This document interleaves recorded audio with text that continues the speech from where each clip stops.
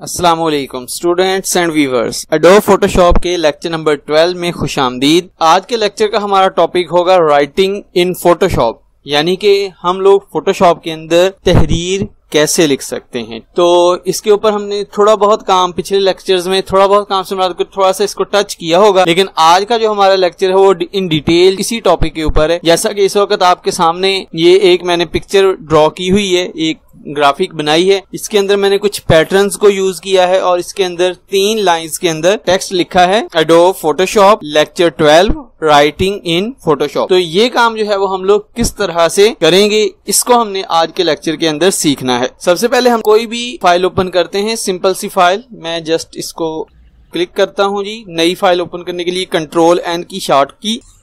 Okay किया। और उसके बाद हम ये इस वक्त ब्लैंक है। आप इस ब्लैंक के अंदर कोई तस्वीर भी लगा सकते हैं, या अपनी तरफ़ से कोई ग्राफिक भी बना सकते हैं, या फिर कोई ग्रेडियंट भी बना सकते हैं। ठीक है जी, इट्स अपॉन टू यू कि आप इसको किस तरह से यूज़ करेंगे। तो हम इसमें एक टेक्सचर फिल कर लेते हैं। अगर ज़्यादा बड़ा काम करना तो आप टेक्सचर का डायमीटर जो है वो बढ़ा दें। आप आसानी से जो है वो उसको फिल आउट कर लोगे, ठीक है? लेकिन याद रखिएगा कि इसके फॉर्म बाद आपने डायमीटर अपना कम कर लेना है, ताकि अगर आप दोबारा इसको किसी जगह पे यूज़ करना चाहें तो ये यूज़ हो जाए। इसके अलावा जो है वो आज आपने, ये जो मैंने अपने सामने ये बनाई हुई है पिक्चर इसमें देखा होगा कि टेक्सचर जो हैं, ये यूनिफॉर्म है। यूनिफॉर्म मतलब कि इसमें, इसकी सब साइड्स जो है वो आपस में बराबर हैं। तो अगर इस तरह का कोई काम करना हो तो ये कैसे किया जा सकता है? इसके लिए आपने सिलेक्शन टूल लेना है। और जिस तरह की आप सिलेक्शन बनाना चाहोगे, मैं यहाँ पर ये एक सिलेक्शन बना रहा हूँ। ये सिलेक्शन लेनी है। अब आपने पैटर्न टूल को लेना है और इस सिलेक्शन में आपने फिलिंग कर लेनी है। यानी इसमें फ़ायदा ये होगा, आप देखिएगा ऐसे ही, कि मैं जो है ये सिलेक्शन से बाहर भी काम कर रहा हूँ, लेकिन मेरा जो वर्क है वो उस सिलेक्शन के अंदर ही हो रहा है। और अगर आप हर सिलेक्शन में एक नई लेयर बना लें तो ये आप लोगों के लिए बहुत ज़्यादा आसान हो जाएगा। कि आप अगर इसको डिलीट भी करना चाहें तो आप इसको डिलीट भी कर सकते हैं। तो ये हमने एक छोटा सा डिज़ाइन बना लिया जिसके अंदर हम लोग कुछ राइटिंग वगैरह का काम कर सकेंगे। सबसे पहले तो जी सिंपल राइटिंग है कि आपकी इंग्लिश राइटिंग जिसको आप कर सकते हो जस्ट लाइक यहाँ पे। तो मैं जो है वो यहाँ पे कुछ भी लिख लेता हूँ। चले हम वही वाला टेक्स्ट दोबारा लिख लेते हैं। एडोब फोटोशॉप जैसे ही आप इसको लिखोगे, या आप यहाँ से टेक्स्ट का टूल सेलेक्ट करोगे, एक नई लेयर बन जाएगी। ठीक है, आप इस लेयर का नाम भी रख सकते हैं। और साथ ही यहाँ पर जो है वो टेक्स्ट की टूल बार भी ओपन हो जाएगी। इसमें सबसे पहला जो है ऑप्शन यानी हमारा, हमने इसको डिस्कस करना है टेक्स्ट टूल बार को। तो सबसे पहले ऑप्शन ये है कि आप इसको हॉरिजॉन्टली लिखना चाहते हैं या वर्टिकली लिखना चाहते हैं। तो अगर आप इसको क्लिक करेंगे यहाँ पर तो ये वर्टिकल हो जाएगा, दोबारा क्लिक करेंगे तो हॉरिजॉन्टल हो जाएगा। इसके अलावा टेक्स्ट के ऊपर जो मेन काम होता है, वो इसका फॉन्ट होता है। फॉन्ट में दो चीज़ें आती हैं, एक होती है फॉन्ट स्टाइल और एक होता है फॉन्ट साइज़ तो आपने सबसे पहले जो है ये आपका फॉन्ट साइज़ है, जिसको फोटोशॉप जो है वो कोई और ही नाम इसका ले रहा है, पूछ लेते हैं जी आपकी नज़र में ये क्या है। तो जी यहाँ से जो है वो ये मुख्तलिफ़ फॉन्ट्स हैं, आप इनको जो है वो इनमें से अपनी मर्ज़ी का कोई सा भी सिलेक्ट कर सकते हैं, ठीक है जी? तो मुख्तलिफ़ फॉन्ट्स के साथ लिखकर आप मुख्तलिफ़ तरह की डिज़ाइनिंग बना सकते हैं। अगर आपने ये देखना हो कि आपका जो फॉन्ट है वो दिखने में किस तरह होगा तो आप इसको एम एस वर्ड में भी चेक कर सकते हैं, क्योंकि एम एस वर्ड के अंदर जो फॉन्ट फॉर्मेट है वो आपका बिल्कुल उसी तरह से नज़र आता होता है, जिस तरह का उसने शो होना है अपनी डॉक्यूमेंट में या जहाँ पे उसको लिखा जाएगा। लेकिन यहाँ पे जस्ट आप इसका बहुत थोड़ा सा व्यू यहाँ पे चेक कर सकते हैं। ये काफ़ी लंबी सारी लाइन है फॉन्ट्स की तो आप इनमें से किसी को भी चूज़ कर सकते हैं। जब आपने सारा काम कर लेना तो आपने मूव टूल पे क्लिक कर लेना है तो ये आपका जो है वो मूवेबल टेक्स्ट हो जाएगा। ठीक है जी? यानी आप इसको उठा के कहीं पे भी लिख सकते हैं। लेकिन हमने अभी इसकी बाकी की टूल बार को भी डिस्कस करना है। इस वजह से मैं इसको दोबारा सिलेक्ट कर लेता हूँ। उसके बाद है जी फॉन्ट की टाइप कास्टिंग की आप जो है वो फॉन्ट को कौन सा स्टाइल इसका सिलेक्ट करेंगे। तो इस वक्त अल्ट्रा बोल्ड है तो मैं इसको अल्ट्रा बोल्ड भी कर सकता हूँ कंडेंस्ड करूँगा तो वो करीब आ जाएगा। इसमें यह कि हर फॉन्ट के अपने अपने स्टाइल्स होते हैं, यानी यहाँ पे सिर्फ़ दो ही स्टाइल्स हैं अल्ट्रा बोल्ड और अल्ट्रा बोल्ड कंडेंस्ड अगर मैं कोई और ले लेता हूँ जस्ट लाइक दिस तो आप ये देखिएगा, यहाँ पे और स्टाइल शो हो गए, यानी रेगुलर या इटालिक तो हर फॉन्ट का अपना अपना स्टाइल है, आप उसको, उसके हिसाब से यहाँ पे कमांड्स आ जाएँगी और आप इनको यूज़ कर सकते हैं। इसके अलावा नेक्स्ट आपके पास है इसका साइज़ तो साइज़ के अंदर हमने क्या करना है जी के? हम इसको इस्तेमाल कर रहे हैं कि साइज़ जो है वो कितना होगा, ठीक है? तो सिक्स से लेके सेवेंटी टू पॉइंट तक जो है वो आप यहाँ पे यूज़ कर सकते हैं। अगर आपको इससे बड़ा भी साइज़ चाहिए तो वो भी हो सकता है। आप यहाँ पे थर्टी सिक्स जहाँ पे मैंने यानी इसका साइज़ रखा हुआ है, यहाँ पे आप क्लिक करें और हंड्रेड टाइप कर दें। जस्ट लाइक मुझे हंड्रेड साइज़ का चाहिए। या फिर मुझे जो साइज़ चाहिए वो लिस्ट में नहीं है, यानी जस्ट लाइक मुझे 26 का साइज़ चाहिए तो वो लिस्ट में नहीं है। तो नो प्रॉब्लम आप इसके ऊपर माउस को ड्रैग करें तो ये 26 का साइज़ आ जाएगा। ठीक हो गया जी? उसके बाद आगे इसकी आ जाएगी एंटी एलिजियंग मेथड यानी आप जो है वो इसको किस हिसाब से देखना चाहते हैं? तो मैंने शार्प है, इस वक्त सिलेक्ट किया हुआ। क्रिस्प स्ट्रॉन्ग या स्मूथ ठीक है? तो ये इसकी शक्ल के अंदर को थोड़ी बहुत चेंजिंग करता है। इसके अलावा इसका कोई इतना खास काम नहीं है। इसके अलावा नेक्स्ट जो है वो आपका काम वो ये है कि आपने तो इसकी अलाइनमेंट कैसे सेट करनी है ठीक है? मोस्टली जो है वो हम लोग राइट अलाइनमेंट के साथ ही काम करेंगे ताकि हमारा टेक्स्ट आसानी से मूव हो सके लिखा जा सके। अदरवाइज़ हमने इसको सेंटर में भी कर सकते हैं और राइट में भी कर सकते हैं। लेकिन वेल well, हमने जो है वो ज़्यादातर किसमें इसको रखना है लेफ़्ट में। उसके बाद नेक्स्ट है हमारा कलर तो ये कलर बिल्कुल सॉलिड कलर्स हैं। आने वाले किसी लेक्चर के अंदर मैं कोशिश करूँगा कि इसमें हम ग्रेडियंट्स वगैरह भी फिल कर सकें। जो कि मेरे ख्याल से होते हैं, लेकिन कभी वर्किंग इसके ऊपर हमने नहीं की। लेकिन कोई बात नहीं, हम इसको देखेंगे, लेकिन फ़िलहाल ये के लिए ये है कि आप इसके अंदर कोई से भी सॉलिड कलर्स फिल कर सकते हैं, ठीक? उसके बाद जो मेनली यानी इसमें है, वो इसका है रैप्ड टेक्स्ट रैप्ड टेक्स्ट मतलब कि आप टेक्स्ट के अंदर मुख्तलिफ़ टेढ़े मेढ़े से स्टाइल लगा सकते हैं, ठीक है? स्टाइल लगाने के लिए ये है जी कि आप इस वक्त स्टाइल में नन पे क्लिक करें तो ये नीचे इसके स्टाइल्स शो हो जाएँगे, ठीक है? यानी कि ये है आर्क तो आप ये देखें कि वो फोटोशॉप का वही जो थोड़ा सा ऊपर को हो गया। अब मैं इसको ओके करता हूँ जी। और यहाँ पे मैं इसकी आर्क को यहाँ पर ले आता हूँ। ठीक हो गया? अब मैं इसी तरह का एक और कॉपी करना चाहता हूँ। तो यहाँ पे हम लिख लेते हैं जी लेक्चर ट्वेल्व तो लेक्चर ट्वेल्व इसको हमने सिलेक्ट करना है जी।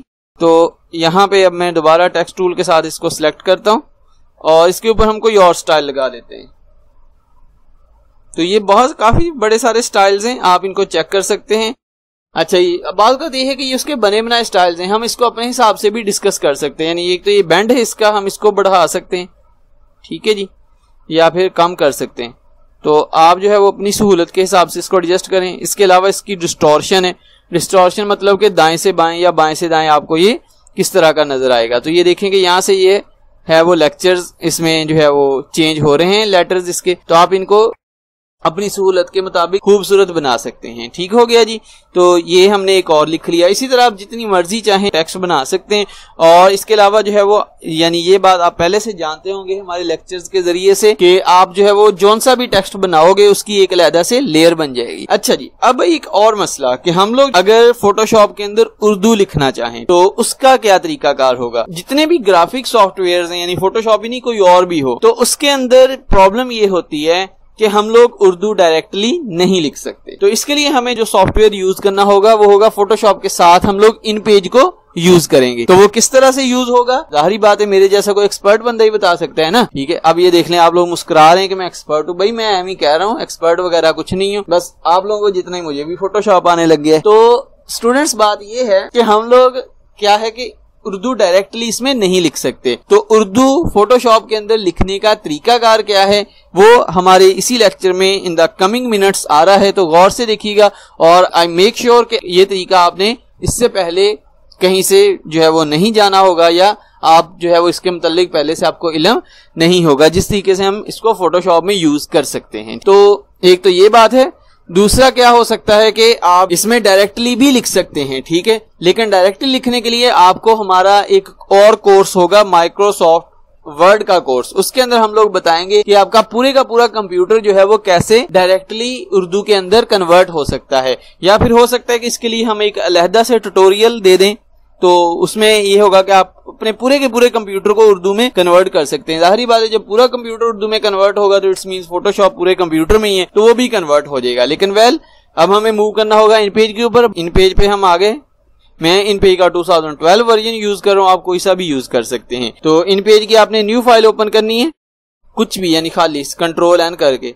और उसके बाद जो है, आपने इसके ऊपर कुछ भी लिख लेना है। जस्ट लाइक हम अपने एडोब का ही लिख लेते हैं।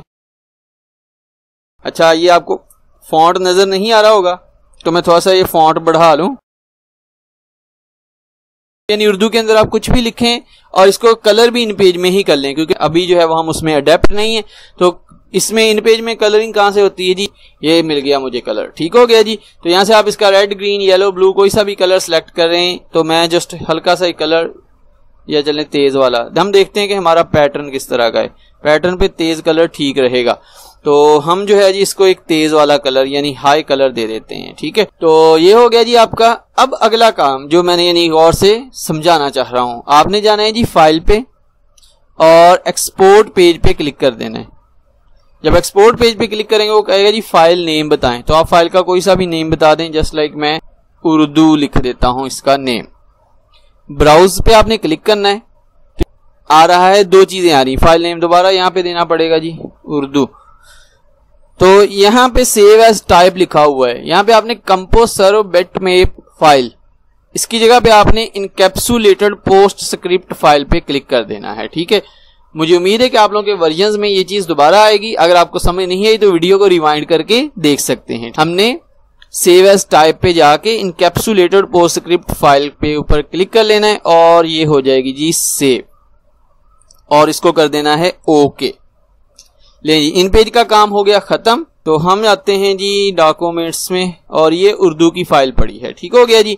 आपने क्या करना है, इसको फोटोशॉप में ओपन करना है। तो ओपन विद पे जाएँ,